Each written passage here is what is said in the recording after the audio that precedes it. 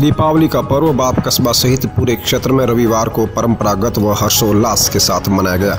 असंख्य मात्रा में जले दीपों से पूरा कस्बा जगमग नज़र आया। चारों तरफ़ दीप ही दीप नज़र आ रहे थे और ऐसा लगा कि अमावस्या की काली रात को दीपों की रोशनी ने पूर्णिमा की रात में बदल दिया। लोगों ने अपने घरों, प्रतिष्ठानों में धन की देवी माँ लक्ष्मी की विधि विधान से पूजा अर्चना की। बच्चों व युवाओं ने जमकर आतिशबाजी की। रात भर पटाखों की गूंज गूंजती रही।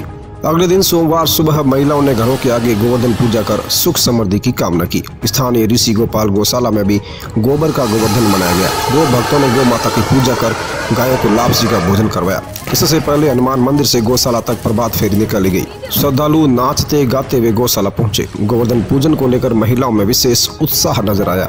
बाप नगर पालिका अध्यक्ष लीला देवी पालीवाल, पूर्व उप प्रधान जगदीश पालीवाल, माहेश्वरी समाज अध्यक्ष अशोक चांडक पूर्व अध्यक्ष अमरलाल भूतला व ओम राठी, दामोदर मेहता, जगदीश खत्री, मनसुख पालीवाल, गौशाला अध्यक्ष धूरचंद कोठारी रेखचंद पालीवाल, गोपाल भट्टड़, रामेश्वर भूतला, अखिराज खत्री, भंवरलाल कोठारी, यशांशु रविशंकर डागा अकासर शांतिलाल राठी गो भक्त मनोज लोहिया कुशिया देवी, शांति देवी, कमला देवी, नीतू देवी गौरा देवी, भंवरी देवी, सुशीला देवी, सरोज देवी सहित बड़ी संख्या में श्रद्धालु मौजूद रहे।